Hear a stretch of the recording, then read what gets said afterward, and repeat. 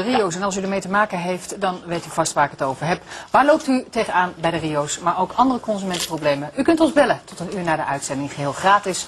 0800 1343. We maken thuiszorg of eh, voor verplegingszorg. Maar liefst tegen de 100 bezitters van een bouwknecht wasmachine hebben bij Radar melding gemaakt van gaatjes in hun wasgoed. Kijk even mee naar één van de verhalen die bij ons binnenkwam. Ja, en hier in de studio, midden tussen zijn klanten, meneer Bosma van Bouwknecht. Eh, Wij gaan ook zo'n wasmachine, ook gaatjes in uw wasgoed? Ja, echt eh, Kledingstukken. Ja. U heeft ook gaatjes, het is een eentonig verhaal, maar waar kwam het nou door bij u? Door de ring. Door de ring. Gefabriceerde modellen, allemaal met die nieuwe stuggere ring gemaakt. U gezegd door Bouwknecht, waaraan zou het liggen volgens De Bouwknecht? wasmachine eventueel te vol of Nou, eh, eh, meneer Bosma, we hebben het gehoord ook in het filmpje, werd een mevrouw gezegd, u moet wat minder of juist wat heter was gebruiken. U moet ander waspoeder gebruiken. Maar het lijkt toch wel te gaan liggen aan die rubberen. Dat is vastgesteld bij mensen. Wat gaat u daar dan aan doen? Wij willen graag in contact treden met mensen die last van Vorige week riepen wij u op om mee te doen met iets nieuws. Het Radar Testpanel. Wij willen het grootste consumentenpanel van Nederland starten. Even een fragmentje nog. Uw mening telt. NL en meld u aan. Ik heb hier ehm, twee schalen en u hoeft het niet eh, op te eten. Maar waar word je nou dikker van? Denkt u spek en eieren en roomsaus, boterhammetjes, Ik denk toch eh, het vlees. het vlees? Ja. In. Dus, Ja. Maar aan de andere kant, waar rijst in. Dus, Ja. Maar aan de andere kant, waar rijst nemen we een extra schep. Ja. Dan dan neem je weer een schepje vet bij. Ja. Hè, en dan is het ook weer slecht. Hoewel je het rijst eh, sneller verteert. Dus dan zou je... Is, eh, dank u wel voor de reactie. Het is er behoorlijk ingeramd de afgelopen 20 jaar. Vet is slecht. En van vet eten word je dik. Maar wat nou als dat niet waar blijkt te zijn? Of dat het in ieder geval een stuk genuanceerder blijkt te liggen?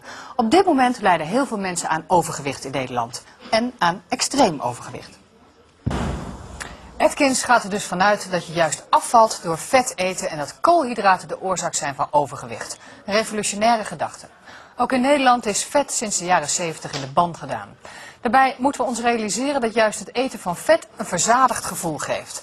En omdat we steeds minder vet zijn gaan eten, is het niet onwaarschijnlijk dat mensen steeds meer koolhydraten zijn gaan eten om toch het volle maaggevoel te krijgen. Wat hebben de campagnes over het minder eten van vet ons eigenlijk opgeleverd? Kennelijk hebben de bestanddelen van onze voeding, vet, eiwit en koolhydraten niet altijd naar waarde geschat. Maar een overhaaste conclusie dat koolhydraten nu slecht zijn en vet goed, is ook niet aan de orde. Ook de laatste tijd verschijnt er veel kritiek op het Atkins-dieet. Dat betreft heeft Toops gelijk om te zeggen dat er alleen een vet loopt of fietst. De slechte vetten die verhogen je cholesterol. Hoeveel vet, eh, zegt de wetenschap, mag je nou eigenlijk hebben op een dag? Juist een soort vet eet, hè, oliën. Goed zijn voorgelicht over vetten de afgelopen jaren. Eh, nee, dan wordt mijn buurvrouw misschien boos.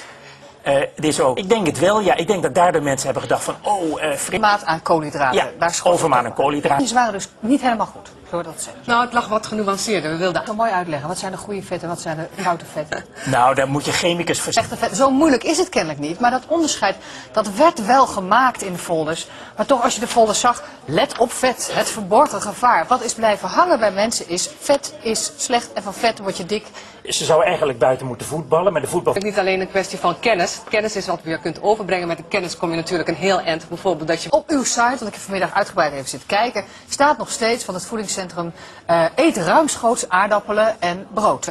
Damien Meijer, eh, de man die zo wonderbaarlijk veel is afgevallen, eh, zit hier ook in de studio. Is het nou zo, want er wordt van de Atkins dieet ook wel gezegd, het werkt omdat je automatisch minder calorieën gaat eten. Omdat Ik nu veel sneller vol dan, eh, dan een aantal maanden geleden. Het ligt dan toch anders op alleen maar vet als er geen Ja, koolhydraten indruk. Nou, het is precies zoals meneer zegt, hij eet minder. Ja, maar Bij, er zijn ook wel eens weekenden dat ik echt lekker veel vet gegeten heb. En dan viel ik meer af als weekenden waarin ik minder at. Ja, maar dat, dat, dat middel. Nou, ik, ik wens meneer eh, Meijer wel heel veel sterkte. Ik hoop dat hij het wel volhoudt.